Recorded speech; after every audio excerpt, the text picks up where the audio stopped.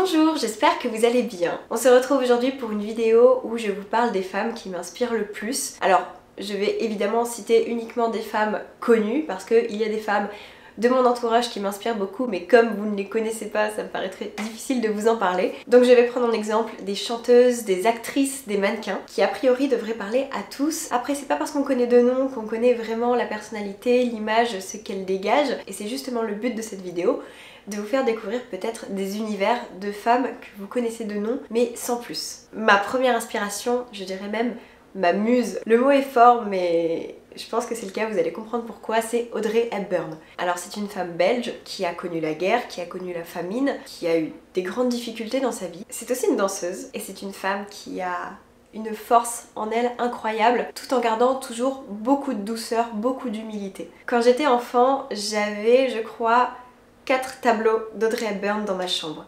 Vous savez, les espèces de tableaux où à l'époque c'était Marilyn Monroe, etc. sur des photos en noir et blanc. Moi, je ne choisissais qu'Audrey Hepburn et à chaque fois mes copines rentraient chez moi et me disaient mais c'est qui ça euh ah bon mais pourquoi t'es fan d'elle? Et Audrey Hepburn m'a toujours captivée et pour autant je ne l'avais jamais vue au cinéma.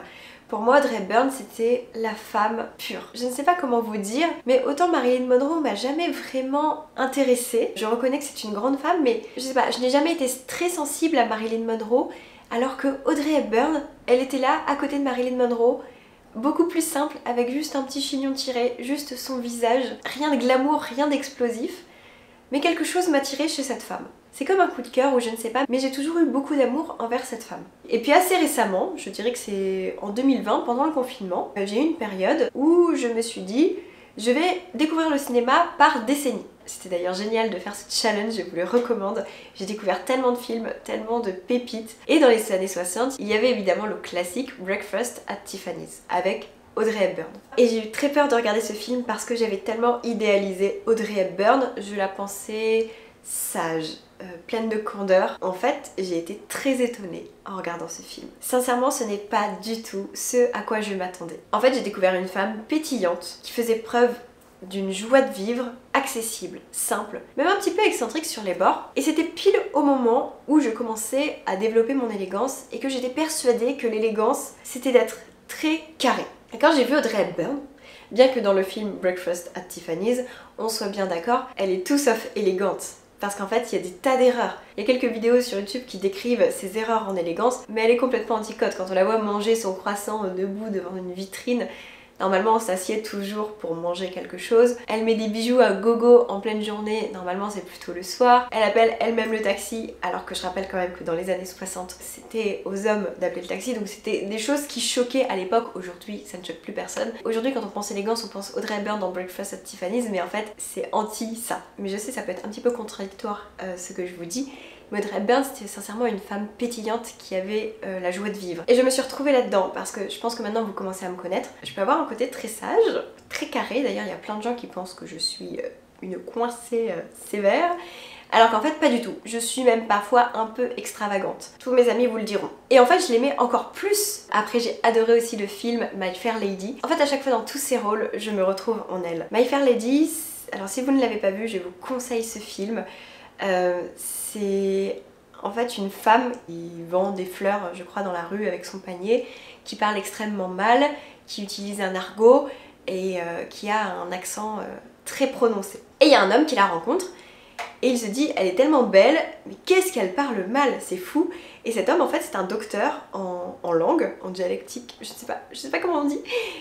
Et son défi c'est de la transformer. Et donc il lui apprend à parler il pense que c'est peine perdue. Pour lui, c'est vraiment un, défi, c'est un challenge scientifique ce qu'il fait. Et elle apprend. Évidemment, elle apprend aussi les codes, puisque dans son travail d'apprentissage, euh, il a fait rentrer euh, à des courses équestres, etc. Où donc elle est obligée d'apprendre les codes en plus d'apprendre à bien parler. Et je me retrouve complètement dedans. Alors évidemment, c'est grossi, euh, je ne parlais pas si mal, mais j'adore ce film et je sais pas, souvent dans ces rôles, je me retrouve en elle et j'adore ça. C'est une femme qui m'inspire beaucoup parce que euh, elle n'a pas peur de montrer, de mettre en avant des choses qui ne plaisent pas. Ok, je suis une femme élégante, je suis une icône de l'élégance, mais je sais aussi être comme ça. Et c'est pas une femme qui se donne un genre, et ça j'aime beaucoup. La deuxième femme qui m'inspire beaucoup, c'est Romy Schneider. Romy Schneider est beaucoup moins fun que Audrey Hepburn, c'est certain, mais elle m'inspire pour autre chose. Elle est divine. Vous voyez ce que je veux dire? Juste sa façon d'être quand elle regarde la caméra. C'est unique. Et c'est aussi une femme forte, puisque quand on connaît un petit peu sa vie, euh, moi je suis pas du tout people, etc. Mais c'est vrai que je suis au courant qu'elle a perdu son fils. Enfin, elle a vécu des choses extrêmement difficiles. Je pense que pourtant quand on vit ces choses-là, on est détruit de l'intérieur. Mais elle a continué d'avancer et elle est exceptionnelle. En fait, elle fait preuve de résilience. C'est remarquable.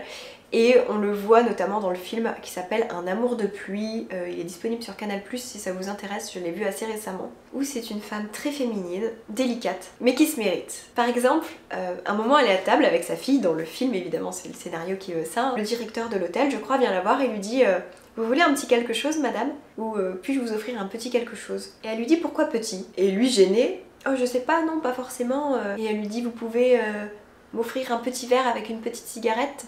Merci mon petit monsieur. Alors c'est approximatif, je ne l'ai pas apprise par cœur cette scène. Mais sur le coup ça m'a bluffé. Comment ça on va offrir juste un petit quelque chose à une dame? À Romy Schneider, comment on peut lui proposer un petit quelque chose alors que c'est une grande dame? Et elle répond merci mon petit monsieur. J'adore cette répartie. Ensuite une femme qui m'inspire énormément, c'est même peut-être l'une des principales, c'est Catherine Deneuve. Catherine Deneuve m'inspire, ok, par sa beauté, mais surtout parce que pour moi c'est le summum de la réussite. Catherine Deneuve, elle a quand même joué dans plus de 130 films. Je sais pas si vous vous rendez compte. Dans ces 130 films, j'ai dû voir une vingtaine de films, ce qui est déjà beaucoup. Et à chaque fois, elle m'épate. À chaque fois, elle a cette douceur dans sa voix, dans sa façon d'être. Et j'ai tellement d'affection pour elle quand je la vois. Je sais qu'il y en a plein qui l'aiment pas, J'adore Catherine Deneuve. Pour moi, c'est un modèle. On se rend pas compte parce qu'elle montre beaucoup de douceur, mais derrière, c'est une femme avec une grande carrière et avec beaucoup d'énergie féminine. Vous savez, je vous en avais déjà parlé, mais il y a une tendance qui veut que euh, les business girls, les business women, plutôt, c'est mieux de dire femme que fille, s'habillent avec des costumes, pantalons, blazers, euh, vont se couper les cheveux, etc. vont parler fort, vont vont taper du poing sur la table et finalement ça ressemble beaucoup à l'énergie masculine. Euh, après il y en a qui diront que c'est du bullshit ce que je dis, mais juste ce que je veux dire c'est que euh, Catherine Neuf c'est pour moi l'un des meilleurs exemples d'une femme qui avec toute sa féminité, qui a su voir sa féminité comme une force, a dépassé tout le monde. J'avais déjà regardé un documentaire sur elle, mais personne pariait sur elle. On la voyait un petit peu comme, un être fragile, mais en fait, derrière, elle sait exactement jouer de sa féminité, elle sait jouer de sa personne, de sa douceur, et je l'admire tellement. Il y a un film à l'époque qui lui avait fait du tort, c'était Belle de jour. Belle de jour où elle joue une prostituée, alors qu'elle vient d'une très bonne famille, qu'elle est aussi mariée à un homme aisé, qu'elle a un magnifique appartement, qu'elle passe son temps au country club. Cette femme se prostitue. Et comme pour trouver un sens à sa vie. Je sais pas, en tout cas ce film est assez intéressant, euh, moi je l'ai bien aimé, et en fait ça avait été mal perçu parce que évidemment une Catherine Deneuve qui joue une prostituée c'est pas possible, et pourtant son rôle je le trouvais très intéressant, mais j'ai adoré qu'elle aille plus haut que son image en fait. On voit qu'elle a pas envie de rester dans une case où ok c'est la fille élégante, euh, bien carrée, le modèle. Non non, Catherine Deneuve on peut penser ce qu'on veut, mais c'est tout sauf ça. C'est une femme extrêmement courageuse qui en veut et elle est très inspirante. Bref, elle me fait beaucoup d'effets. Ensuite, une autre personne qui m'inspire beaucoup, c'est Vanessa Paradis. Alors, je suis fan de Vanessa Paradis depuis que je suis enfant. J'avais tous ses CD, je connaissais musique par cœur, j'aimais beaucoup Vanessa Paradis. Et là encore, je l'admire pour son professionnalisme parce que c'est une femme qui touche à tout et qui réussit tout. C'est une femme qui est chanteuse, puisqu'elle a commencé comme ça avec Joe le Taxi quand elle avait 14 ans. C'est une chanteuse. Et pourtant, c'est pas une chanteuse à voix, je veux dire, elle a pas, c'est pas une Céline Dion. Et elle a fait énormément de tubes, elle a trouvé son style, elle a une voix douce. De toute façon, moi je suis pas fan des chanteurs à voix, ça m'énerve même un peu les vocalises. Moi j'aime le style, j'aime la sensibilité. Et Vanessa Paradis a son truc et elle a vraiment sa place dans l'industrie musicale. Elle est aussi actrice. Euh, je sais pas si vous avez vu La fille du pont de... Comment il s'appelle déjà? Celui qui a réalisé aussi Les Bronzés font du ski, euh, Le mari de la coiffeuse. Attendez, je regarde parce que c'est un de mes réalisateurs préférés, j'ai complètement oublié. La fille sur le pont avec Daniel Auteuil, c'est Patrice Lecomte. Patrice Lecomte, un réalisateur que j'adore, je vous invite à découvrir ses œuvres. Bon, je pense qu'on connaît tous Les Bronzés font du ski, mais il a fait plein d'autres films très bons. Et bref, pour revenir à Vanessa Paradis, c'est aussi une actrice et aussi une mannequin. Je crois que Vanessa Paradis, elle fait ma taille, 1m58. Je me demande si elle est même pas un petit peu plus petite que moi. C'est un tout petit gabarit et elle arrive à être égérie de chez Chanel. Euh, je veux dire, Vanessa Paradis prouve à tout le monde qu'on peut réussir même si on est le contraire des critères. Et tout ce qu'elle fait, elle le réussit bien. Parce qu'on voit que dans chaque projet, elle met beaucoup de sensibilité et ça c'est inspirant. Autre actrice que j'aime beaucoup, c'est Penelope Cruz. Alors, Penelope Cruz a toujours été pour moi une étoile, je ne sais pas comment vous dire. J'ai toujours été fascinée par Penelope Cruz. Et alors avant, pour moi, Penelope Cruz, c'était une femme magnifique. Et quand je me suis intéressée au cinéma et que j'ai découvert le travail de Pedro Almodovar, J'adore aussi Pedro Almodovar. Je vous conseille de, de regarder ses œuvres si vous ne connaissez pas. Quand je l'ai vu jouer dans les films, j'ai senti cette sensibilité en plus. Et quand on voit la sensibilité d'une personne, ça change absolument tout. Ok, on voit souvent des femmes belles à la télé, dans les magazines et tout, mais quand on arrive à percevoir cette personnalité, en fait, ça rend la personne encore plus forte. Et ça, ça fait vraiment la différence. Vous savez, moi je dis toujours que on peut avoir tous les critères de beauté. C'est pas ça qui va faire le charme. C'est pas ça qui va faire qu'on vous remarque. J'en connais des tas des gens qui ont tous les critères de beauté, que ce soit des femmes ou des hommes. C'est pas ça qui fait la différence. Vraiment pas. Ce qui fait la différence, c'est cette sensibilité, c'est cette personnalité que l'on va mettre en avant. Et je le retrouve chez Penelope Cruz, justement dans les films de Pedro Almodovar. On le voit, c'est si puissant. J'adore cette femme. Et puis il y a quelque chose qui m'inspire beaucoup chez elle, c'est son côté glamour. Bon, déjà quelque chose de frappant chez elle, c'est son regard de braise. Ça, on ne peut pas l'éviter. Elle a un regard absolument fabuleux. Très expressif, elle fait preuve de beaucoup de sensualité. C'est une femme, comme je vous le disais, glamour. Et en ce moment, moi, j'ai envie de développer euh, mon côté glamour. Et je pense que je vais vous faire une vidéo YouTube à ce sujet, parce que c'est quelque chose sur lequel je suis en train de travailler. Et j'ai longtemps, j'ai mis beaucoup de temps à trouver, à définir ce mot. Je pensais que c'était être plus sexy. Euh, je prenais en référence Monica Bellucci, Angelina Jolie, mais c'est pas sexy, c'est glamour le bon terme. Donc attendez-vous dans les prochaines semaines à avoir une vidéo sur comment faire pour développer euh, son côté glamour. Enfin, ma dernière inspiration, c'est Nicole Kidman. Alors Nicole Kidman, c'est une actrice australienne que j'ai découvert quand j'étais petite, vraiment très petite, dans le film Le Moulin Rouge de Baz Luhrmann.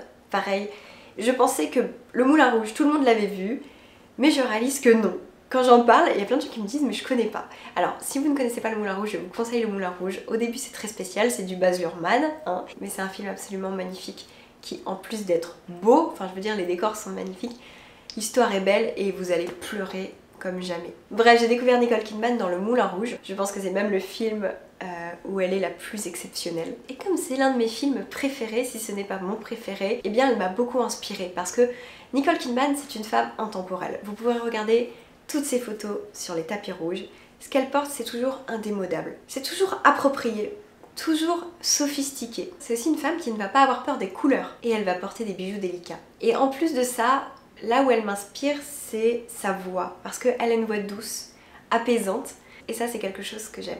Et elle est aussi connue pour ça puisqu'elle a fait beaucoup de doublages pour des documentaires. Mais bref, tout ça pour dire que j'aime beaucoup Nicole Kidman et elle mérite son succès. Bon voilà, vous savez tout au sujet des femmes qui m'inspirent. Euh, est-ce qu'on a des inspirations en commun?